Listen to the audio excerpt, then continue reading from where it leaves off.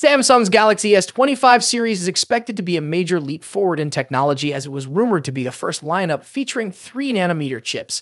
These next gen processors promise enhanced performance, better efficiency, and cooler operation. However, recent reports suggest that Samsung could be facing serious issues with its in house chip production, specifically the 3 nanometer Exynos 2500 chip, which was supposed to power the Galaxy S25 and Galaxy S25 Plus, might not be ready in time due to production challenges.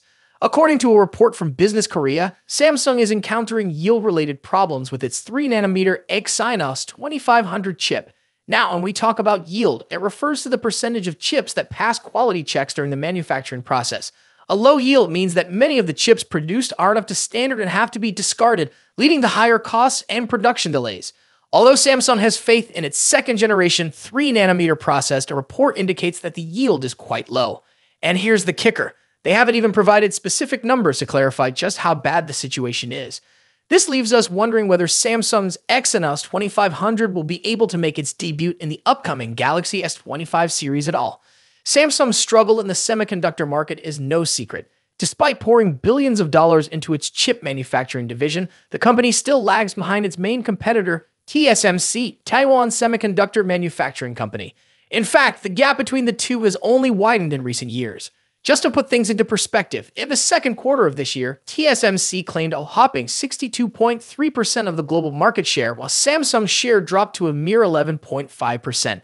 That's a massive difference, and it shows just how much ground Samsung has to cover in the semiconductor game. Now, here's where things get interesting. If Samsung can't get the 3 nanometer Exynos 2500 chip up to standard, they might be forced to use Qualcomm's Snapdragon 8 Elite chip across the entire Galaxy S25 lineup, including the Galaxy S25, Galaxy S25 Plus, and Galaxy S25 Ultra. Initially, it was believed that only the Galaxy S25 Ultra would get the Snapdragon 8 Elite, with the other two models powered by Exynos 2500. For many consumers, this could actually be good news in the past, Qualcomm's Snapdragon chips have generally been seen as more powerful and efficient than Samsung's Exynos chips. So, if Samsung does make the shift to Snapdragon chips for all its S25 models, buyers might actually celebrate the change. However, this is definitely bad news for Samsung. The company has been trying to close the gap with TSMC and Qualcomm, and having to rely on Snapdragon chips across the board is a sign that it's not quite there yet. The Exynos 2500 was supposed to be Samsung's moment to shine, showcasing their ability to produce competitive 3 nanometer chips. Instead, the yield problems are a major setback in Samsung's ambitions to overtake its rivals in the semiconductor market. This issue isn't just limited to the Galaxy S25 series. It'll be an exciting release, but Samsung's yield problems with the 3 nanometer Exynos 2500 chip could force the company to pivot entirely. If they do end up using Snapdragon chips in all models, it might be a win for consumers, but a tough blow to time We'll tell whether Samsung can bounce back and deliver a competitive Exynos chip. But for now, all eyes are on the upcoming Galaxy S25 and how the company handles these challenges. Don't forget to like, subscribe, and hit the notification bell for the latest updates on the Galaxy S25 series and more.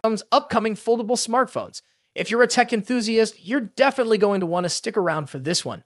We're talking about the highly anticipated Galaxy Z Fold 6 series, and more specifically, the Galaxy Z Fold 6 Ultra, which is rumored to be coming to China and Korea.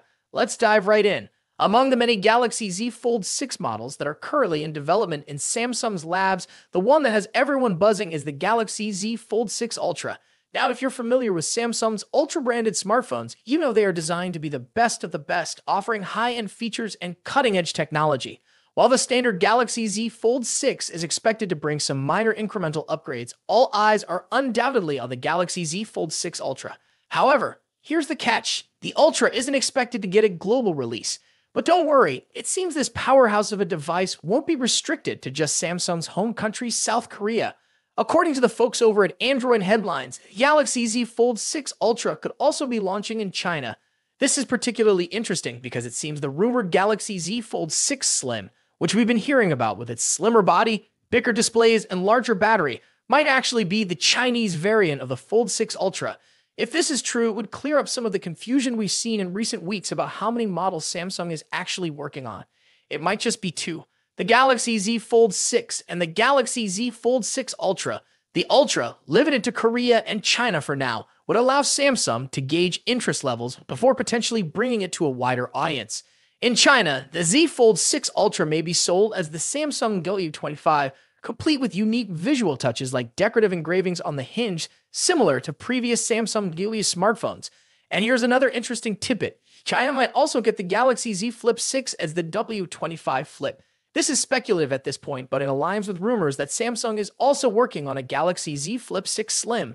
Now, unfortunately, there isn't a lot of detailed information about what exactly the Galaxy Z Fold 6 Ultra will offer compared to the Z Fold 6. This is probably because the Ultra model isn't launching alongside the standard model, but we can expect more details to emerge once the standard Galaxy Z Fold 6 goes official at Samsung's Galaxy Unpacked event next month. Samsung's Galaxy Unpacked events are always full of surprises, and we can't wait to see what they have in store for us this time. Will the Galaxy Z Fold 6 Ultra live up to the hype? Will it bring groundbreaking features that set apart from the standard model? Only time will tell. To be an upgrade. While rumors suggest a larger display and a slimmer design, the lack of S Pen support might be a deal breaker for some users. Ross Young also mentioned that production for the Z Fold 6 Ultra's display panels might begin later this year, with a launch expected in January alongside the Galaxy S25. This staggered release makes sense. It avoids competing with the July launch of the regular Fold 6 and keeps the Ultra exclusive to South Korea for now, which might frustrate international buyers. Speaking of launches, rumors suggest the next Galaxy Unpacked event might be happening on July 10th in Paris, France. However, Tipster Evleaks list of expected reveals didn't include the Galaxy Z Fold 6 Ultra. Does this mean no Fold 6 Ultra this year? Probably not. Evleaks list might only include devices launched leaked photo a few days ago, looks a bit cheap and out of place on a flagship smartphone, expected to cost over $1,500. The device in the picture also appears to be wider than the current Galaxy Z Fold models, suggesting that Samsung is increasing the display size. However, the screens won't be significantly bigger. Samsung is reportedly saving the major display size upgrade for the Galaxy Z Fold 6 Ultra and Galaxy Z Fold 6 Slim models, which are rumored to launch alongside the standard Z Fold 6 this year. Now, let's move to the front. The first hands-on image of the Galaxy Z Fold 6 is leaked and reveals that Samsung has finally listened to Galaxy Z Fold users. The new foldable phone will feature a wider cover screen compared to the Galaxy Z Fold 5.